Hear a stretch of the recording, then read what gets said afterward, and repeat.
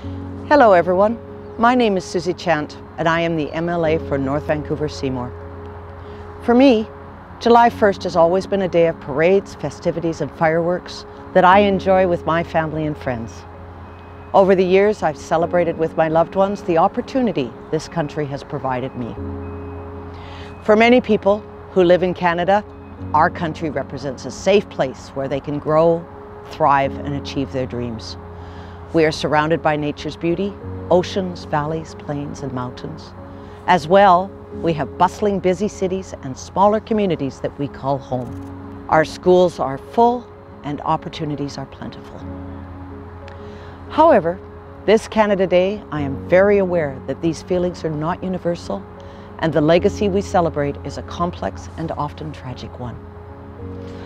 I am cognizant that for many, Canada Day can be a painful reminder of the cultural genocide and systemic oppression that defines this nation's foundation and growth. This is a legacy that remains to this day. The discovery of hundreds of unmarked graves containing children's remains at former residential schools, both here in BC and other parts of Canada, as well as the horrific act of terror we saw in London, Ontario, are just the most recent reminders of this.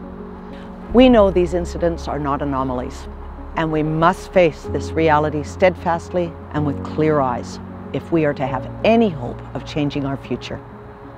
We are still a country where Indigenous people are disproportionately incarcerated, discriminated against, and systemically excluded from opportunity.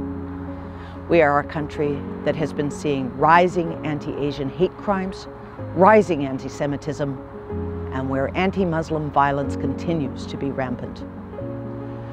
Racially based violence and hatred continues to be an epidemic in this nation. Canada Day will not be celebrated by everyone. I know that, I have heard that, and I respect that. Personally, I will take this day to spend time safely with my family and reflect upon what it means to be Canadian and the multitude of challenges we still face as a nation. It is a time for gratitude, but also for mourning, an opportunity to be honestly confronting the past, but also to think of the future.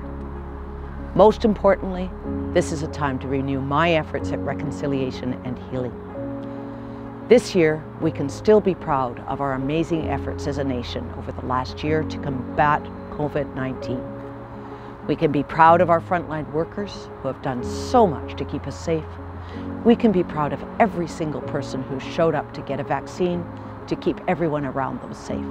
And we can look forward to better days ahead very soon because of those efforts. So on this Canada Day, take the time to acknowledge both the darker and brighter aspects of Canada. Be proud of the hard work and good things we've done as a nation, and acknowledge and commit to making changes we need to achieve reconciliation and to make Canada a country we can all truly be proud of. Thank you so much.